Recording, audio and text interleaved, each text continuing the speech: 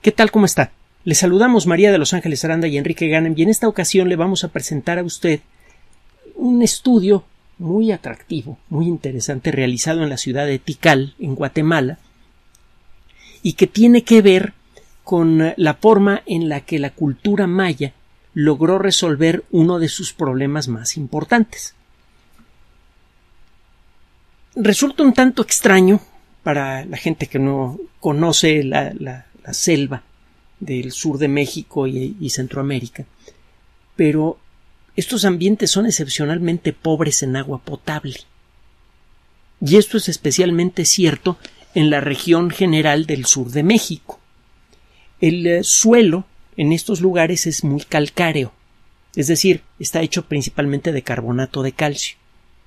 Cuando usted camina por Yucatán, por ejemplo, o por Campeche, por, los estados del sur, está usted caminando por lo que fue el fondo del mar hace mucho tiempo.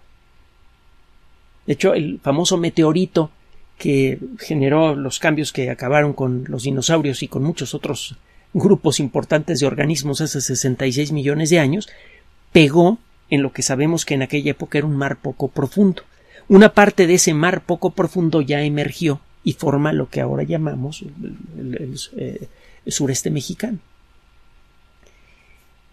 Estos terrenos calcáreos son muy porosos. El carbonato de calcio se disuelve en agua. Las lluvias en esta zona son muy frecuentes. Y esta lluvia va disolviendo literalmente el suelo. Esto normalmente no se ve a simple vista porque este suelo está cubierto por una capa delgada pero muy rica de materia vegetal en descomposición y otras cosas.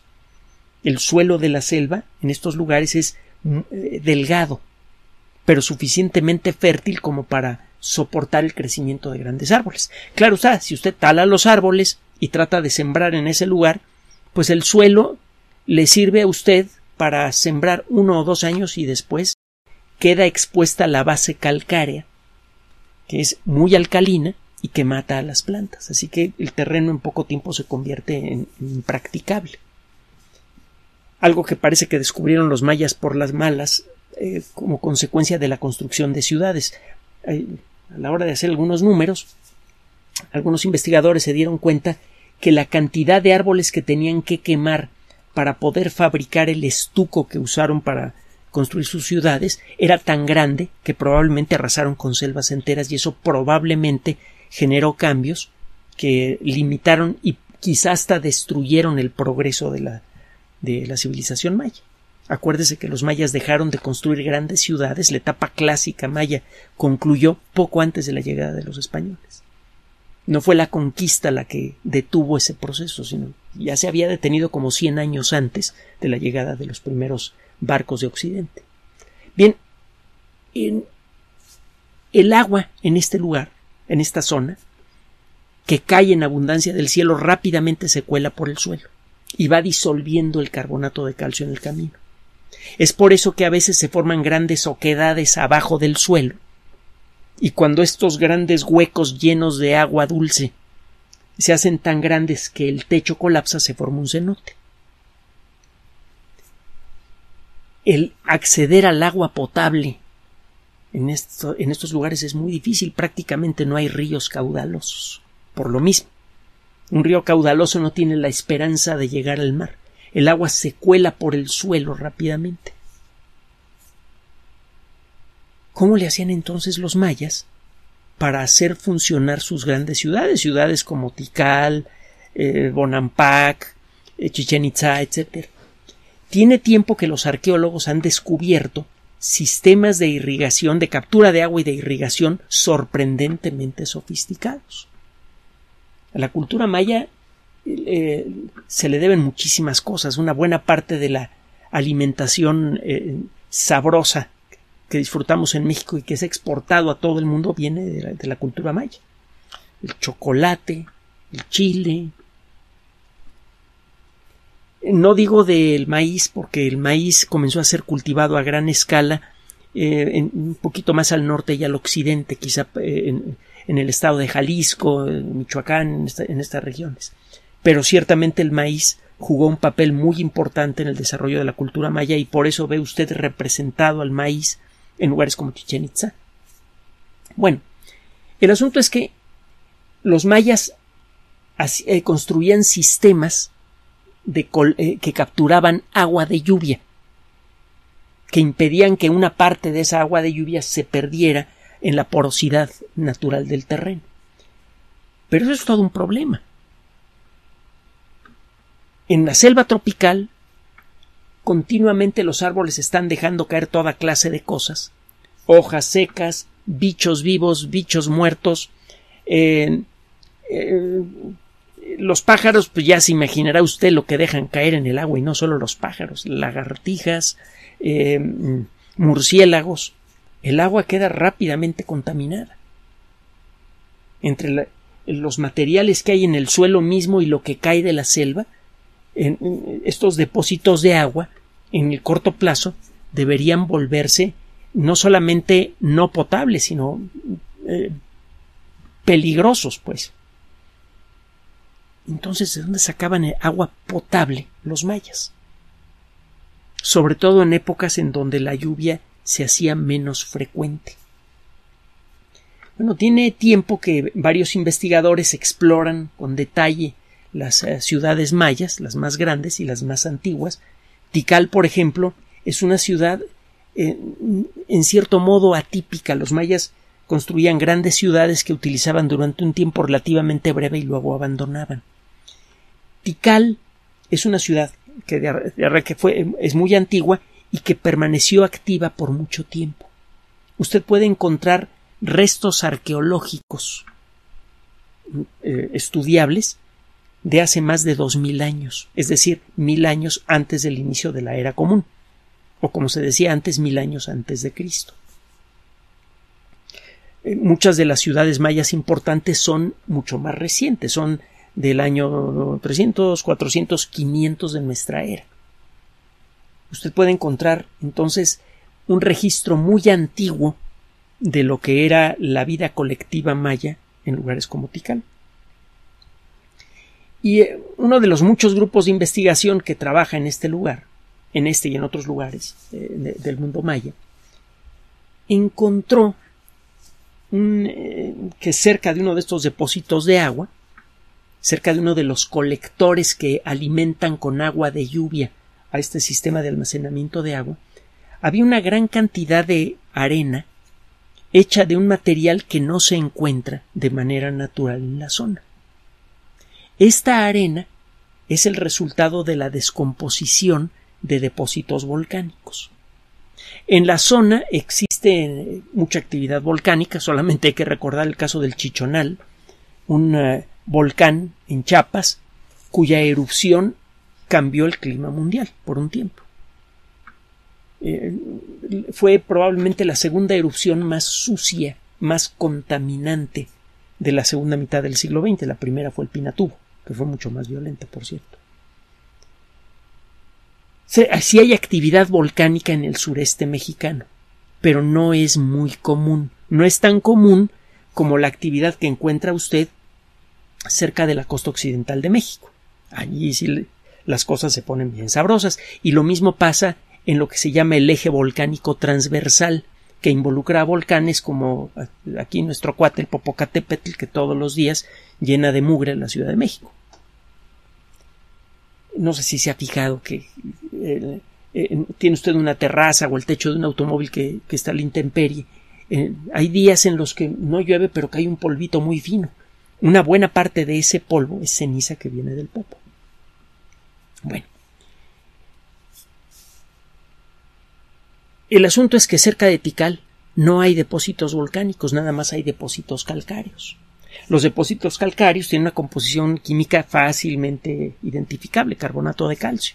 Hay varios, varias técnicas simples que incluyen utilizar gotitas de jugo de, de limón o zumo de limón, como dicen otros países, para identificar a una roca calcárea, comienza a burbujear inmediatamente. Esta roca volcánica está hecha principalmente de cuarzo cristalino.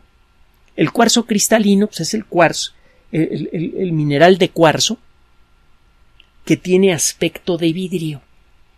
El cuarzo es el mineral más abundante en la corteza terrestre. Un mineral, en, términos geológicos, es una sustancia natural generalmente sólida, generalmente, que tiene una composición química definida y es consecuencia de un proceso geológico natural. Al petróleo se le considera también un ah, mineral, porque si bien es un producto de origen inicialmente orgánico, la forma química y física del petróleo es consecuencia de procesos geológicos. Bueno, pues de todos los minerales que hay, que se reconocen varios miles de especies minerales, el mineral más abundante en la corteza terrestre es el cuarzo. Lo encuentra usted por todos lados, solo o formando parte de rocas, por ejemplo el granito.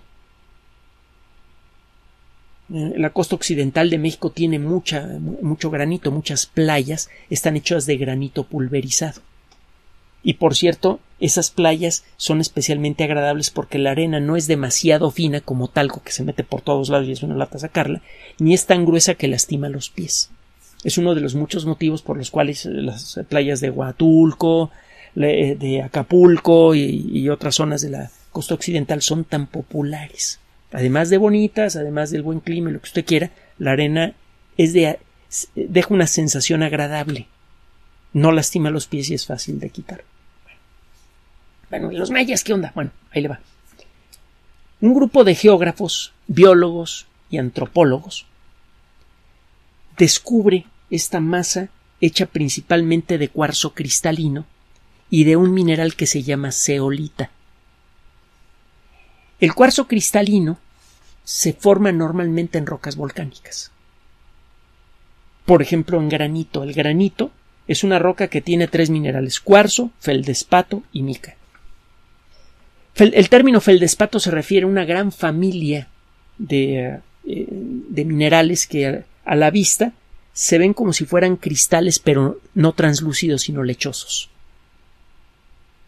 Estos minerales son ricos en aluminio, ricos en silicio.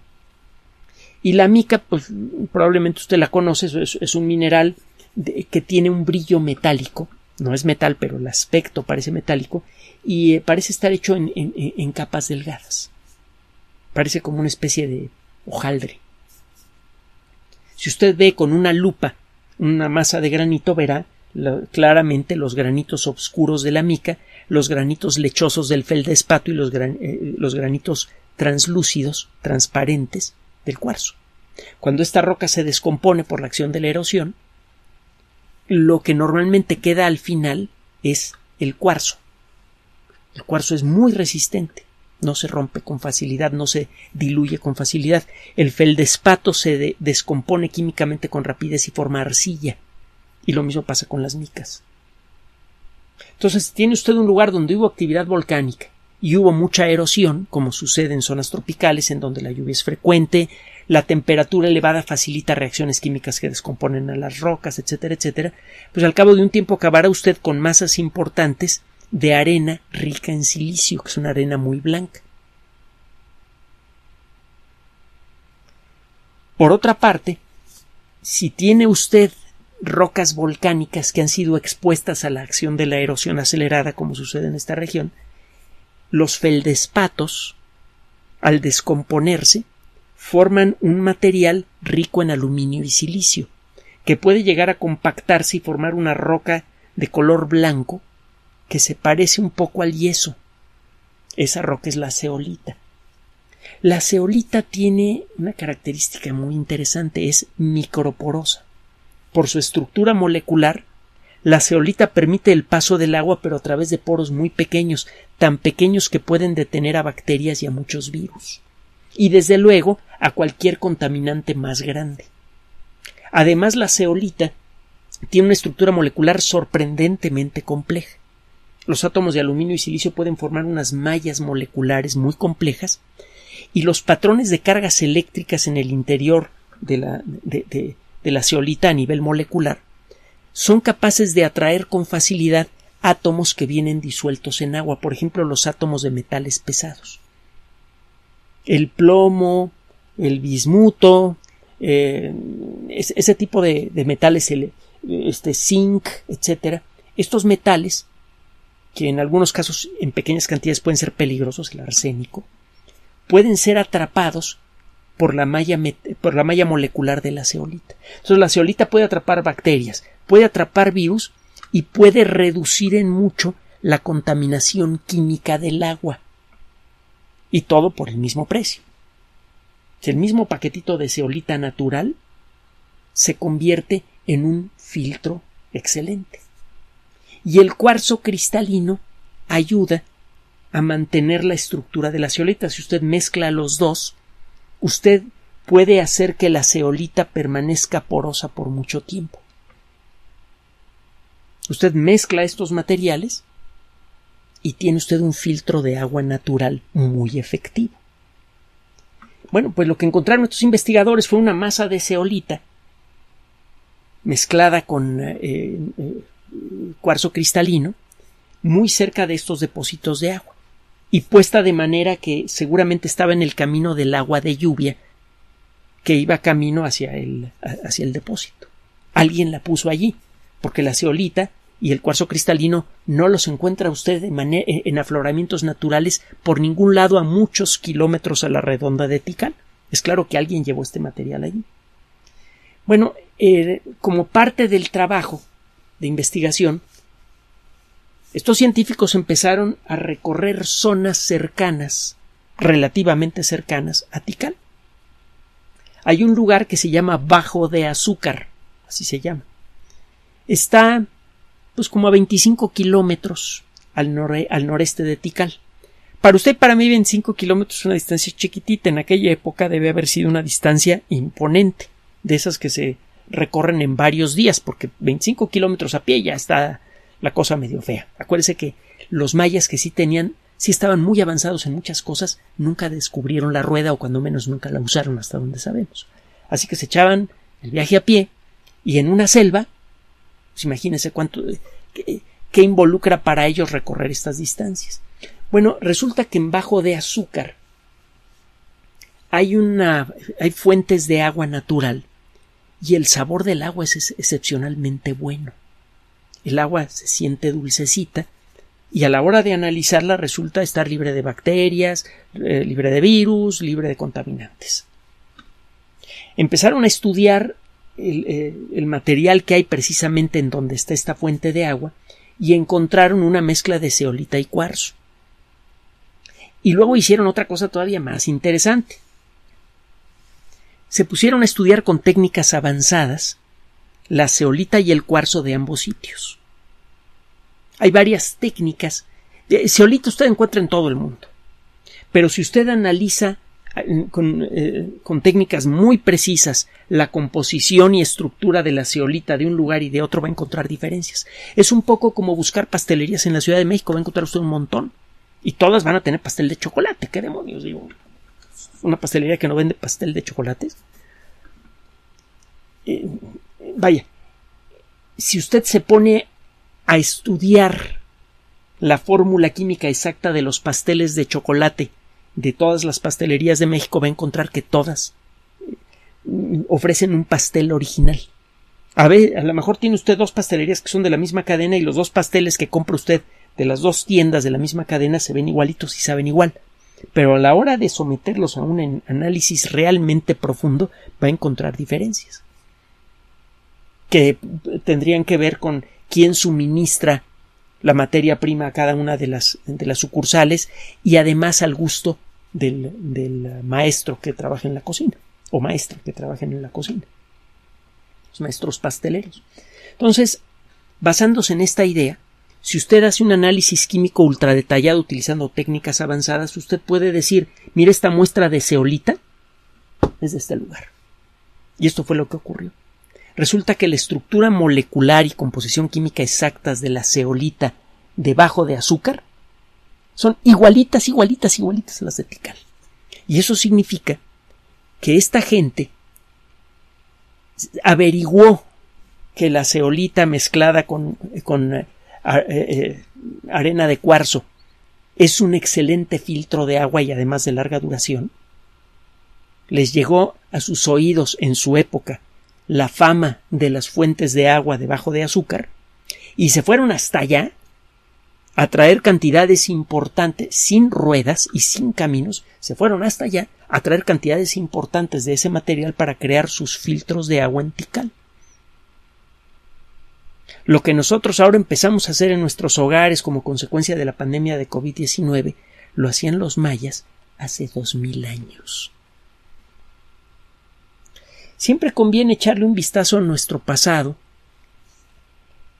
por muchos motivos. Uno de ellos es que el, eh, mirar a nuestro pasado nos da una sensación de estabilidad y de orgullo. El saber que lo que somos en la actualidad se debe en buena medida al talento, al esfuerzo, al carácter de la gente que vino antes que nosotros. El saber hacer esto de la manera apropiada puede darle a una persona y a una colectividad una seguridad muy grande. Es, por cierto, uno de los grandes problemas de México. En México y de hecho en toda Latinoamérica tenemos la suma de culturas con un enorme talento, un enorme carácter. Las culturas locales, por ejemplo la maya, y la cultura europea, principalmente la cultura española. Son dos culturas de conquista. Por alguna razón, sería interesante analizarla con cuidado y de manera desapasionada. Una parte está peleada con la otra. En muchos países de Latinoamérica frecuentemente existe ese desajuste entre ambas culturas y es una tristeza porque en lugar de sumar las cosas buenas de ambas culturas las estamos restando. Pero bueno, el asunto es que cuando usted estudia la historia, eso le da a usted raíces culturales, le da a usted identidad. La identidad le da una sensación de seguridad a la persona y al grupo. Y por otra parte, al estudiar, eh, hay muchísimos beneficios de, estudiar el pasado. Otra cosa que puede usted encontrar al estudiar el pasado son ideas que con modificaciones se pueden aplicar al mundo moderno. Eh, finalmente, piense usted en cómo estamos llevando la sociedad moderna. No me refiero a México en particular, sino al mundo en general. Estamos en todo el mundo, las nuevas generaciones se están cortando de alguna manera con sus raíces de alguna manera el, acceso libre a gran escala a la información que hay en el Internet, en lugar de facilitarnos el acceso a la riqueza cultural de nuestro pasado, está cortando nuestro contacto con él. Eso no puede tener buenas consecuencias. Es buena idea recordar de dónde venimos y reconocer el talento, el talento de las personas que nos precedieron. Esa es una de las muchas virtudes de disciplinas como la historia o la arqueología, sobre todo cuando se dan la mano con la química, con la física y con otras disciplinas científicas modernas. Gracias por su atención. Además de este canal oficial en YouTube, tenemos nuestro sitio web www.lexplicador.net, las redes sociales de siempre, Twitter Enrique-Ganem, Facebook Enrique Ganem, sitio oficial. Recuerde que también por sugerencia suya tenemos abierto un espacio en Patreon, el explicador Enrique Ganem, y en PayPal el explicador patrocinio arroba gmail.com, gracias a los cuales sostenemos este espacio. Finalmente, el explicador siempre somos María de Los Ángeles Aranda y Enrique Gana. Gracias.